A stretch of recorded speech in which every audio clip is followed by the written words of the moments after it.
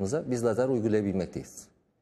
Peki e, şimdi bir de yeni bir şey duymaya başladık. Orta mesafe. Hani Evet. uzak yakın biliyorduk eskiden. Orta mesafe nedir? Yani orta mesafe kabaca bizim dijital ekranlarla olan aramızdaki mesafe diye tanımlayabiliriz. Bilgisayar, evet, telefon. bilgisayar, tablet, telefon.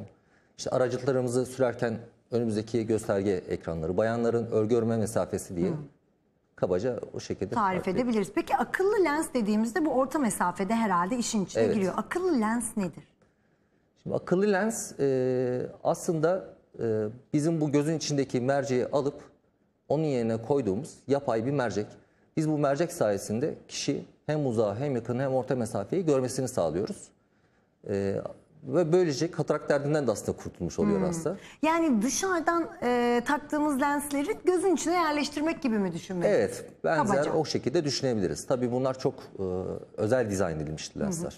Peki katarak e, sorununa da çözüm buluyor değil mi? Tabii. Ama kişide katarak yoksa da bu tedavi olabiliyor. Tabii uygulanabilir. Zaten bizim günlük pr- pratiğimizde bu lensleri taktığımız, e, en çok taktığımız hasta grubunda aslında herhangi bir bariz katara olmamasına rağmen göz numaraları çok yüksek olan, uzak yakın gözlüğü kullanan ve artık kullanmak istemeyen hasta grubu. İstemeyen. Evet. Peki akıllı lens uygulaması yaptırırken belli bir yaşı beklemek gerekir mi? Yani genelde 40 yaş ve üstü diyelim. Üstü. Tabii çok numaraları çok yüksek olan daha genç hastalarımıza da uygulayabiliyoruz. Ama genelde 40 yaş ve 40 üstü yaş. diyebiliriz. Peki ben mesela no touch lazer oldum. Evet. Sonrası akıllı lens taktırabiliyor muyum? Evet taktırabilirsiniz. Çünkü burada farklı katmanlardan bahsediyoruz. No touch lazeri biz gözün en dışındaki kornea dediğimiz cam tabakada uyguluyoruz. Akıllı lensleri ise biz iris, iris dediğimiz göz bebeğin arkasına yerleştiriyoruz. Yani farklı katmanlardan bahsediyoruz. Başka yerler. Peki Tabii. akıllı lens taktırdıktan sonra katarak olma riski de olmuyor değil mi? E tabi zaten biz Orası e, değişmiş oluyor. ileride katarak potansiyeli gelişmesi riski olan lensi aldığımız için böyle bir risk yok. Zeptosaniye ameliyatların farkı nedir? Nedir zepto? İşte zeptosaniye aslında bizim bu ameliyatlarımızı daha kusursuz ve güvenli şekilde yapmamızı sağlıyor. Özellikle riskli diyebileceğimiz göz bebeği küçük, işte şişkin katara olan ya da göz merceği kaymış olan hastalarda bizim bu e, ameliyatlarımızı, akıllı lensli ameliyatlarımızı daha güvenli ve etkin bir şekilde yapmamızı sağlıyor.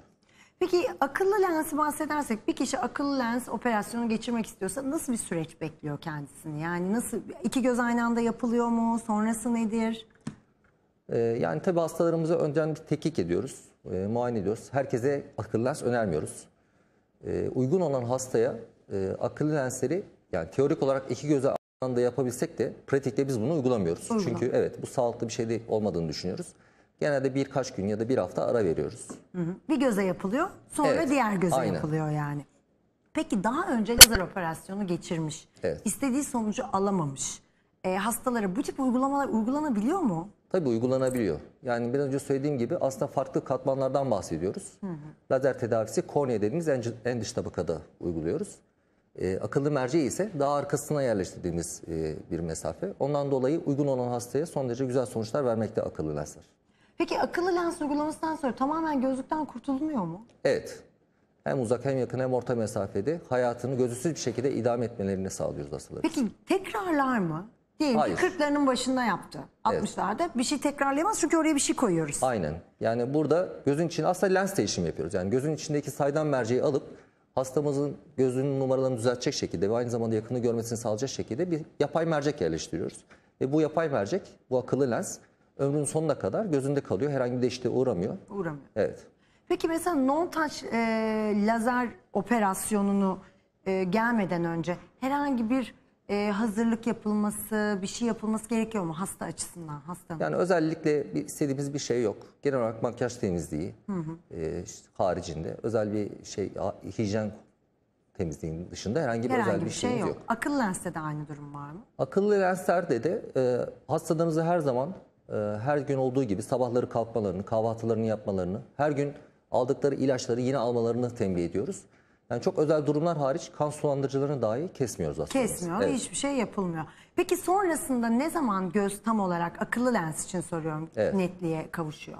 Akıllı lens uyguladığımız hastalar ilk gün bulanık görüyorlar. Ertesi gün o bulanıklık gidiyor ve normal hayatlarına dönüyorlar. Bir hafta sonra da öbür göz yapılıyor. No taş lazerde. No taş lazerde ise e, ilk birkaç gün biraz batma ve bulanıklık olabiliyor. Dördüncü günden sonra yavaş yavaş görmemiz netleşmeye başlıyor.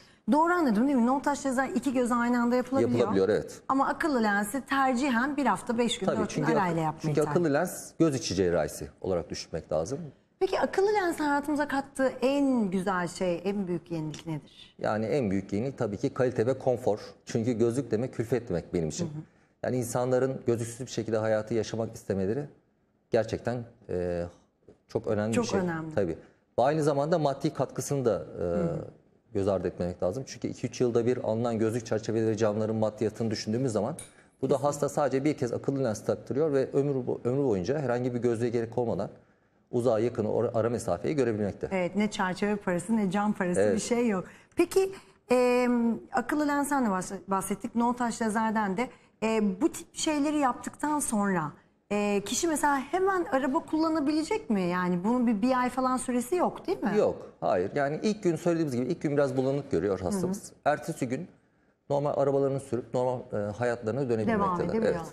Peki lens kullanan biri uzun yıllar Evet. no taş lazer yaptırmak isterse orada bir kalınlık incelik mevzu var Evet, yanlış evet. bilmiyorsam. Nedir orada durum? Yani şöyle kontak lens kullanımına bağlı kornea dediğimiz gözün ön cam, tabakasında bazı değişiklikler olabilmekte. Bu da bizi hastamızı değerlendirmemizi etkileyebilmekte.